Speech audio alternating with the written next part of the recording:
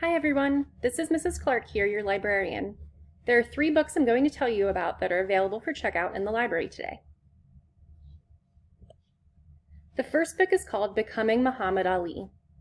Float like a butterfly, sting like a bee. That is the most famous quote by Muhammad Ali, one of the greatest boxers of all time. But before he became the legendary Muhammad Ali, he was the young Cassius Clay, a boy who learned card tricks from his grandfather hid his report card from his parents, and biked around Louisville, Kentucky with his buddies. But when his bike gets stolen, Cassius decides there's something he wants more than anything to be able to stand up against bullies and become a boxer. His best friend Lucky stands by him through it all, whether his fists are raised in victory or his back is against the ropes in defeat. And soon, Lucky is cheering on Cassius in his first amateur fight. I highly recommend this smash hit to any one who wants to learn more about one of the greatest sports heroes of all time during Black History Month. The next book is Shark Attacks of 1916.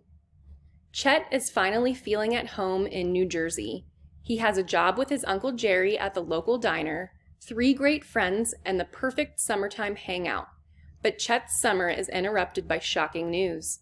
A great white shark has been attacking swimmers along the Jersey shore. Everyone is talking about it. So when Chet sees something in the creek, he's sure it's his imagination until he comes face to face with a bloodthirsty shark. This book is part of the I Survived series and is based on true events.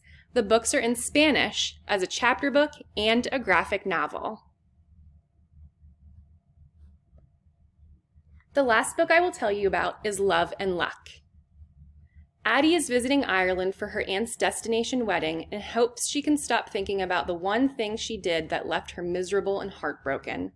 But her brother Ian isn't about to let her forget, and his constant needling leads to arguments and even a fist fight between the two once inseparable siblings.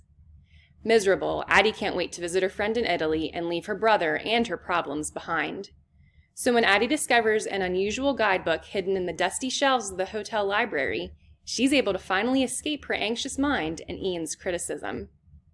But then their travel plans change, and Addie finds herself on a whirlwind tour of the Emerald Isle, trapped in the world's smallest vehicle with Ian and his cute Irish accented friend Rowan.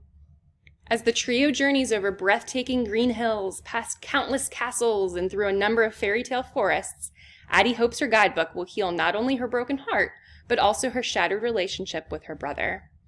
This is one heartwarming tale of a road trip uh, through Ireland filled with lots of love, adventure, and the true meaning behind the word family. If you're looking for a romance read for Valentine's Day, this may be the book for you.